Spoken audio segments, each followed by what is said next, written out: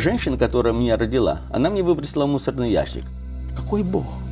За место под солнцем надо зубами, руками, ногами драться. Ну, как говорили, счастье не в деньгах, а в их количестве. Я решил, как бы сказать, своей зарплате делать немножко э, приварочек такой, да. Ну, сколько, сколько надо, столько печатали, что мы там.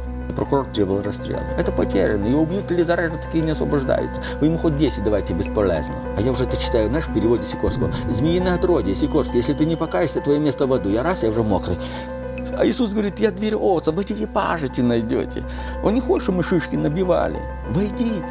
Разве это не чудо? Тебе скажу больше, Саша, я не сирота. Я не сирота. В поисках настоящего счастья люди склонны пользоваться даже фальшивыми средствами. В этом смысле мы все отчасти фальшивомонетчики. Кто-то рассчитывает на удачный брак, другой видит счастье в успешной карьере, третий уповает на собственную религию. Герой нашей передачи верил, что счастье могут обеспечить деньги. Много денег. Если нельзя заработать, почему бы просто не напечатать, решил он. Так много лет назад Виктор Сикорский стал фальшивомонетчиком. Ему легко было оправдать свой выбор. Трудно найти человека, которому судьба была бы столь несправедлива, как участнику сегодняшней передачи. Новорожденный младенец, выброшенный собственной матерью на улицу, это он. Воспитанник казенного детского дома, обделенный лаской и любовью, это тоже он. Едва дышащий мешок с костями после фатальной автокатастрофы, это тоже он. Приходится удивляться, как он только смог выжить. Но не деньги сделали его счастливым. Не потому что были фальшивыми. Даже за настоящие деньги можно купить только фальшивое счастье, одну его видимость. И все же Виктор Сикорский нашел свое счастье. Совсем не там, где искал, и совсем не так, как предполагал. И что предшествовало тому, что вы оказались на этой дороге? Вот походить по улицам любого города и спрашивать любого человека, хочешь ли ты быть счастливым человеком, я убежден, что каждый человек скажет, я хочу быть счастливым человеком, хочу. Знаете, вот это заложено, естественно, в каждом да. сердце каждого человека, быть счастливым человеком.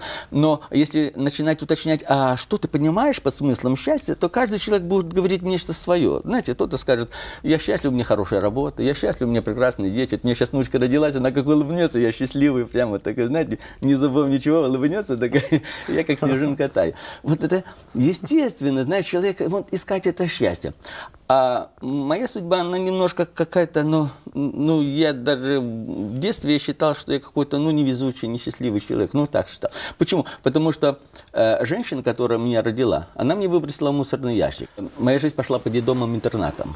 И, откровенно говоря, э, в этих заведениях хорошего мало. Я вообще считал, что э, мир жестокий, я считал, что мир несправедливый, что в этом мире надо уметь постоять за себя. И я думал, что счастье, оно в бицепсах. Я считал, что счастье, оно в силе. И у нас в городе открылась э, секция по самбо, я пошел заниматься. В 17 лет я уже был кандидат в мастера, а в 20 лет я был мастер спорта международного класса. Седьмая Олимпиада народов СССР и выиграл серебро в своей весовой категории. Серьезно? А в 1974 году мы возвращались с Кубы. У нас были молодежные соревнования, сам Фидель Кастро награждал. Получилось так, что под Винницей, Калиновка мы разбились машиной. Разбились машиной настолько, что водитель насмерть, а меня смяло в этой машине, что ее пришлось даже разрезать. И когда приехали эти врачи, то врач говорит, это мешок с костями, везите его в морг. Мы его просто до больницы не, не, не довезем. Но сегодня уже как верующий человек, да, я вижу руку Божью в том, что один санитар говорит, слушайте, может там все-таки пульс прощупывается. Ну что-то прощупывается, все-таки давайте вот все-таки в больницу. И меня в больницу. То есть вы выжили, да? Вы, вы ходили? Э, да, меня там под, меня опери... подняли, 8 месяцев да? меня оперировали, растягивали там капроны, там все, я до сих пор хожу на палочке. А вот, и я решил тогда, что место под солнцем надо завоевывать. А для того, чтобы э, выкарабкаться, надо куда-то поступать, надо дипломы. Вот я учился, я учился на философском факультете. Вообще-то я думал, что э, философия – это наука, наука, которая даст ответы на все вопросы жизни. И я задавался таким вопросом, чего ради я живу? Когда ты находишь смысл жизни, ты находишь истинное счастье. Да. Просто-напросто. Себя находишь. Да. Я пришел к такой мысли, что все в жизни имеет цену. И, конечно, если тебя, ну, как говорили, счастье не в деньгах, а в их количестве. Вот когда у тебя будет достаточное количество денег, ты не будешь просто какой-то Витька, а ты будешь Виктор Иванович, ты будешь так, с тобой будут считаться. И я тогда познакомился, ну, она сейчас моя жена, вот. э, я познакомился с Людочкой, и она работала на полиграфии, тут где метро Довженко в Киеве, там очень большая фабрика. И я когда ходил по этой фабрике, то меня интересовало, а как делается иллюстрация, какова технология. И тут же мысль такая, а могу ли я такое, допустим, что-то делать в домашних условиях? Я собрал полиграфическую аппаратуру, у меня были еще несколько, несколько ребят, было такие тоже единомышленники, которые хотели быть богатыми людьми.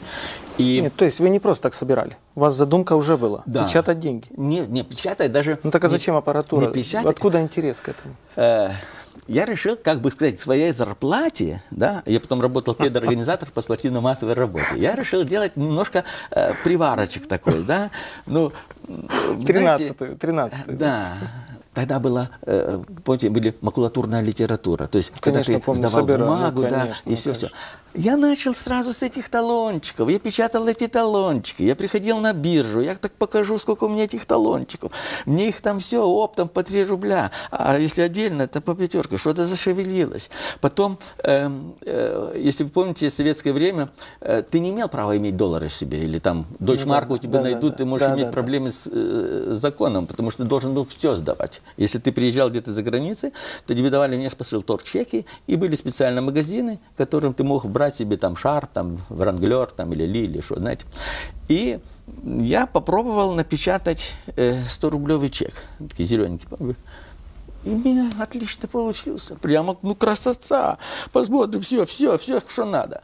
Я к этим магазинам их раз-раз... У меня были правила э, дорожного движения, и мне там напичканы были чеки. Я такой раз так покажу, смотрите. Все, она все деньги тебе отдаст, приносите еще.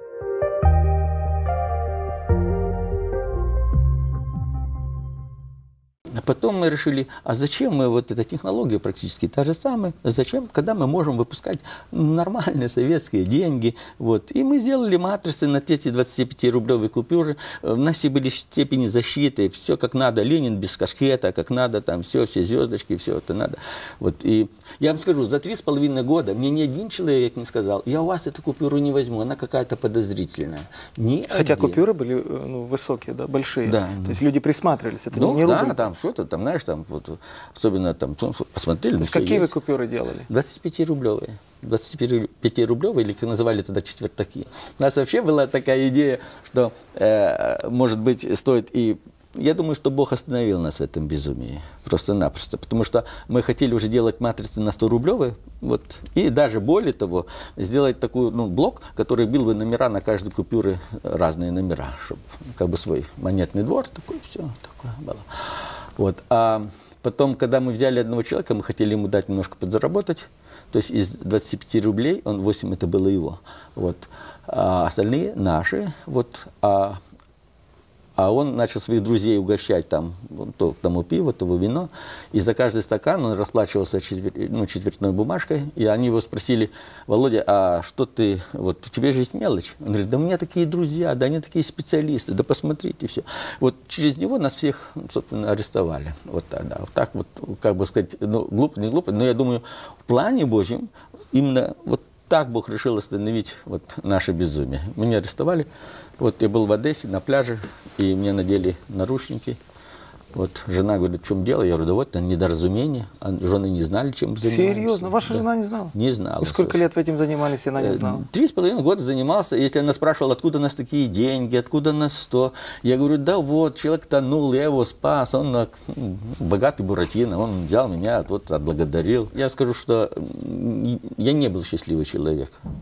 Вот желание быть счастливым, и вот это счастье не, не было удовлетворения. И, и не то, все не то, вот так. И когда нас судил Верховный суд на чекистов 4, тут Верховный суд Украины, вот то прокурор требовал расстрела. Даже адвокаты говорят, мы бессильны вам чем-то помочь.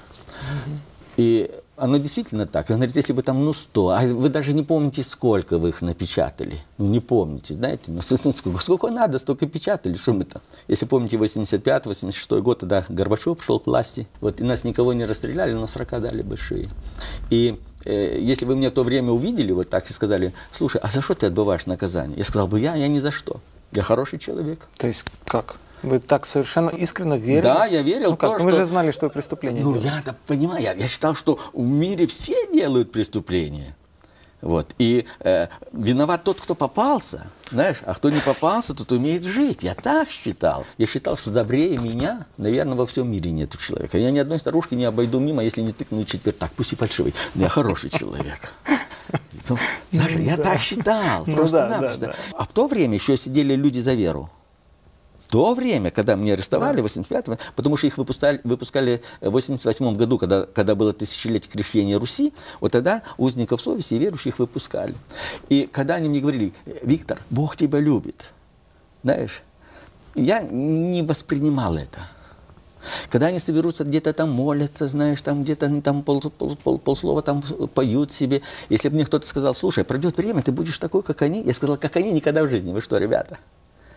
Мне не так посмотрел, не так сказал. Я, мне неделя не проходила, чтобы я с кем-то не подцапался. Саша, не приходила. А в 89 году, это 7 августа, это, это впервые, не то что на, на, на всем пространстве СНГ, впервые э, поля, порядке эксперимента было такое, а ну давай пустим этих верующих в тюрьму, посмотрим, что с этого будет. Тогда был Бакатин, министр МВД, был 250-й приказ такой знаменитый о взаимоотношениях, знаешь, там вот такой. И к нам впервые 7 августа приехала группа верующих. Вот они приехали, и говорят, там какие-то христосики приехали. Христосики, знаете, вроде недавно 40 им давали, знаете, а тут вот открыли и запустили. И у нас был кинотеатр «Снежинка» назывались, просто лавочки под открытым небом. Сейчас на этом месте построена такая православная такая часовенька красивая, знаете, на этом месте. Бог чуден. И там эти лавочки были, и выступ такой, и они там пели, они рассказывали стихи, они говорили о разбойнике, знаете. И, вы знаете, я вообще-то думал, что так красиво петь даром никто не будет. Это где-то филармонии наняли. Это им хорошо там заплатили, потому что так даром, так красиво, хорошо петь никто же не будет. И вот когда они говорили о Боге, что Бог есть любовь, то, а я так слушал и думаю, ну, больные люди, какой Бог? За место под солнцем надо зубами, руками, ногами драться. Да если уши опущу, то по мне тут стадо бизонов пробежит, сухого места не останется. Что они тут рассказывать? Я на начальство посмотрю, на них посмотрю. Думаю, ну, ну, ну, ну, ну, ну, ну.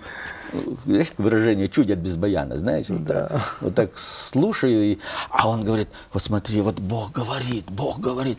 И он, когда эту Библию говорил, знаете, вот у меня такое было чувство, как, вот, как приговор Верховного суда. Апелляции не подлежит. Вот, Бог, вот. Uh-huh. Оно так оно и есть, это Бог. Uh-huh. Слушайте. И я так мне заело то, что э, я вроде так о Боге знаю, но самого источника, самой Библии я не читал. Uh-huh. Ну, наверное, вот эта уверенность. Уверенность, да. которую человек говорил, как вы говорите, апелляции не подлежит. Да, То есть да. вот так и не да, иначе. Да, тут было видно, что он, он этим живет, он uh-huh. этим дышит. Он не просто, знаете, uh-huh. вот так, знаете, вот знает о Боге. Ну да. Знаете? Да, да, да. Есть да. много знает о Боге, да, но не да, знает да, Бога. Да. Увы. Когда они приехали, когда они об этом говорили, я, ну, я возвращаюсь именно к этому моменту, да. да, и я так, меня внутри прямо клокотало. Приехали, нас обманывают, и так технически это все, они так красиво это делают, и я решил выпросить у них этот Слово Божие. Слушай, друг, да, я хочу прочитать. Подошел замполит, и этот верующий говорит, вот заключенный хочет, чтобы ему дали э, Слово Божие. Можно мы дадим ему Евангелие? Тот говорит, кому? Сикорскому. Да это ж потерянный, это потерянный. Его убьют или зарежут, такие не освобождаются. Вы ему хоть 10 давайте, бесполезно. Я говорю, не надо 10, ни одну. И он мне дал этот Новый Завет и сказал, пообещай, что ты прочитаешь с первой буквы до последней точки. Я сказал, обещаю. И сам себе думаю, ребята, в следующий раз вы приедете, я с вами на равных я вам докажу, что вы заблуждаетесь. Вот такие у меня были настроения. И когда они ушли, я тоже так, раз, он, а, а, он еще сказал, прежде чем открыть, если ты хочешь, чтобы Бог тебе открылся, прежде чем открыть, ты помолись, скажи, Господи, открой глаза моего сердца, вразуми, настави меня, да, и потом читай. Хорошо, хорошо, да. Я молился так, Боже, я не знаю, ты там есть или нет, этому типу пообещал, ты мне тут что-то должен открыть, давай открывай. И начинаю читать, Авраам родил Исаак, Исаак родил, что мужики рожают. Так. И все выписывал, выписывал, выписывал. Да? Я очень так хорошо выписывал. Даже у меня такое чувство было внутри, я понимаешь это чувство ну, от, от князя мира сего, который говорит, Сикорский, ты молодец, твоя работа уже на, на докторскую тянет. Ты, ты хорошо проштудировал, бросай. Я думаю, не, не, дочитаю до конца. Знаешь, когда я дочитал до конца Евангелия, я, откровенно говорю, я мало что понял на сегодняшний день. Я, я сейчас заканчиваю семинарию. Через год я буду иметь уже степень магистра. Да? Я Библию люблю, я ее перечитываю уже 37 раз, от бытия до откровения ничего не пропускаю. Знаешь? И, я, и каждый раз, когда ее читаешь, действительно что-то что-то еще, еще, еще-то открывается. Действительно, в каждой буковке горы мудрости. Да. Но в тот момент, когда я прочитал это Евангелие, да, я тебе скажу скорее, я мало что понял. Я мало что понял, что на сегодняшнее время. Но я понял одну маленькую истину. Я не так живу. Я неправильно живу. Вот это сознание. Я не так. И знаете, вот как кто-то так тебе стряхнул, и ты как-то вот вроде так привык так смотреть под таким углом, да? А то ты уже как-то по другим углом взглянул на себя, на окружение. Я думаю, это нас тут машинная возня просто-напросто. Мы разбегаемся лбом, лупимся об стенку и думаем, что мы плохо разбегаемся. А Иисус говорит, я дверь овца, войдите, пажите найдете. Он не хочет, чтобы мы шишки набивали. Войдите. Вы, вот, знаете, и, и у меня борьба такая была внутри. Это сейчас просто, знаете, вот человек, ну, приходят ко мне бывают люди, говорят, мне очень тяжело на сердце, я не знаю, как мне быть, что мне делать. И, и я счастлив, что я могу подсказать. Друг мой, тебе надо поправить свои отношения с Богом, или возобновить это отношение, или, или, или это отношение. Тебе, чтобы открыть дверь для Божьей благодати, тебе просто надо склонить свое сердце. Знаешь, там, вот стать перед Господом на колени, сказать, прости мне грешного, прости, не надо ему пришлять. Он даже знает то, что ты забыл. Но когда ты ему от, от глубины сердца, ты говоришь ему, вот, вот такого, какого я есть, да? да. Бог это принимает, он начинает в тебе действовать. Он начинает в тебе уже да, действовать, да. он уже тебя разворачивает. Вот. И я когда осознался, я еще понял, что я стою на краю пропасти, и я со скоростью экспресса, я движусь куда? Куда я движусь? Конечно, в ад. Потому что о себе э, я могу хорошо говорить, но Бог меня-то лучше знает. Когда я прочитал, я понял, э, что да, была историческая личность. Был Иисус приходил. Угу. Чего ради приходил? Этого Иуду ненавидел. Я думаю, это Иуда, я бы ее разорвал бы. Я, я, даже, даже сожаление было, я не в то время родился. Мне надо было 2000 лет назад. Мне надо было Палестине. Знаете, Значит, вы уже стояли на стороне Христа.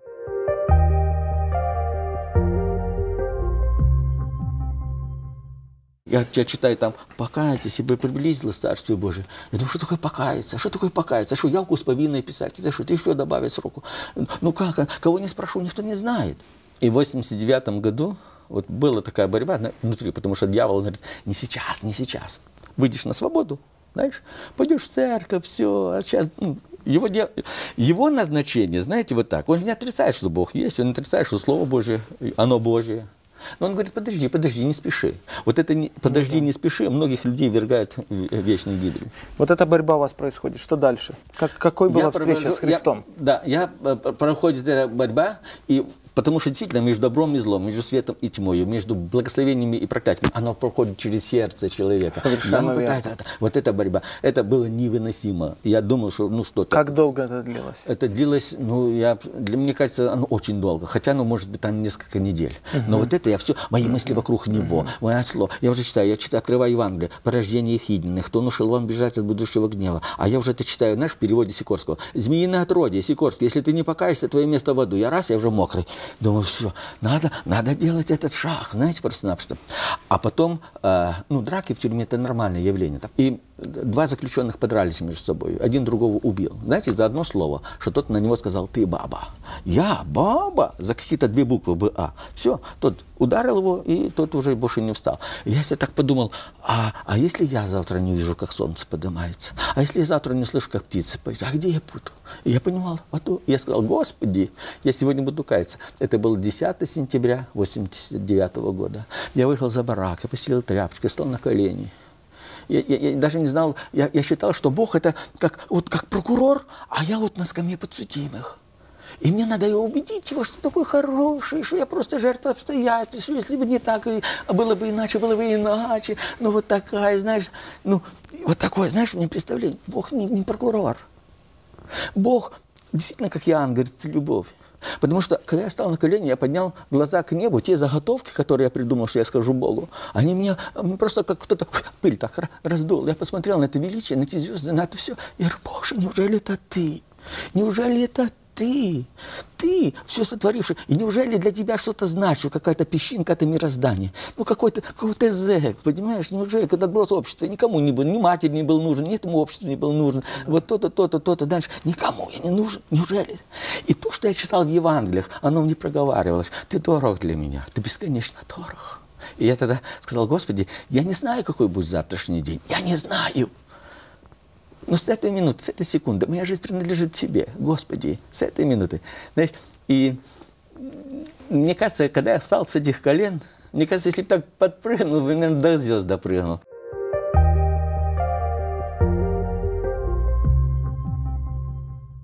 А на утро, когда я выскочил на середину барака, я кричу, мужики, я хочу сделать объявку, знаете. Тишина. Что такое, что такое подъем в тюрьме? Кто-то хочет еще полежать, знаете, а тут уже бегут там дубинками всех поднимают, а кто-то на кого-то наступил, ты смотри, куда ты лезешь, знаешь, там выяснение отношений, там, туда, туда, а тут я ору на всю, на всю секцию. Сразу тишина такая, я руки поднял, говорю, видите руки, видишь, если я сяду где-то играть под интерес, вы их под гильотину, то станки там металл режут, под гильотину обрубаете, эти руки принадлежат Иисусу Христу. Я сегодня ночью покаялся, я христианин, вы слышите, я верующий человек. Вы так публично при публично, всех на весь. вот так Даже не думал такого, что я так вот это выскочу, что Я думал, так себе все будет теперь с Богом, теперь будет с Богом. Выскочил и вот кричал на, на весь барак. Некоторые говорили, о, дочитався. Кто читает Библию, дочитався. Кто-то говорил, да пройдет как насморк. Слава Богу, до сих пор не проходит. Слава Богу. Ну, там выражение в десятку. Да. И не прошло. Не про- я потом каждый человек хватал за рукав. Да мы не так живем, мы неправильно живем. И, и вот смотри, я еще не умел. Знаешь, я, я человеку говорю, вот, вот Бог, ты понимаешь, Иисус ради тебя приходил, Он за- ради тебя жизнь отдал. Ну и что, ну и что? Я думаю, ну как же, дать ему по шее. Я ему, ну, мне вот такое. Знаешь, я, как это, ну, ну, э, не понимаю, знаете, вот так. И нас за какой-то месяц у нас уже было до 40 человек. До 40 человек. Вот, и... Но в основном это вокруг вас. Да. То есть Бог да, через да, вас уже Да, а как ты читаешь, а как ты понимаешь, а как то, а как то. Это, это было, это такой опыт был. Это было потрясающе. Это было потрясающе. Саша, я мог бы говорить и говорить, говорить и говорить, говорить. Нас действительно формат э, передачи очень маленький. Я мог бы говорить до бесконечности, потому Я что Бог это да. Бог чудес. Аминь. Это потрясающе, Скажите, это удивительно. вы водное крещение принимали в тюрьме? Не, мне ты что? Мне хозяин сказал, не, сейчас я преподаю крещение. Вот недавно в Буче преподавал, еще четыре человека принимали крещение. Они даже, там есть надувной такой баптистерий, а сейчас они такой бассейн себе вырыли, такой плиточкой обложили, я уже в нем там преподаю, баптистерий такой сделали. Слава Богу, знаете, сейчас Но вы вышли из тюрьмы, уже принимали водное, да? Да, мне просто, э, мне начальник тюрьмы, он сказал, що, будете мені тут голі пригати, знаєте, ну у нього таке представление, я не знаю, почему у него такое представление. Пока я тут живий, ніяких тих самих. Хотя уже было договорено, хотя уже был тогда закон о свободе совести, но он продукт того времени, никуда не денется. И, и я когда, да, я вышел, я сразу же, боже, я так, я в одной церкви, там преподайте мне крещение, я говорю, как разбойник на кресте, если бы его снять с этих гвоздей, и он бы и крещение, он все, он бы ходил бы за этими учениками, да. Вот у меня такое было состояние. Я принял крещение 8 августа 95 года, вот я принял крещение, вот и эм, вот эта церковь, где сейчас Святопол, это уже восьмая церковь, а я участвую в организации вот этих восьми церквей тоже. И это э, кредо мо- моего служения, кредо моей жизни. Господи, вот я, где я мог быть полезен? Вот я. Сколько той жизни отпущено? Господи, вес, ты знаешь. Вот, ну я хочу вот так, знаете, вот так прожить, чтобы потом, когда придешь пред Господом, услышать, войди в радость мою, добрый и верный раб. И поскольку Бог меня нашел в этих отчаянных местах, я с 95 года. У нас на Украине 183 тюрьмы на Украине. Из 183 тюрем, 126 я проводил евангелизации, провожу служение и готовлю команды, э, обучение. Сейчас заканчиваю семинарию, то я буду открывать такой институт. Вот.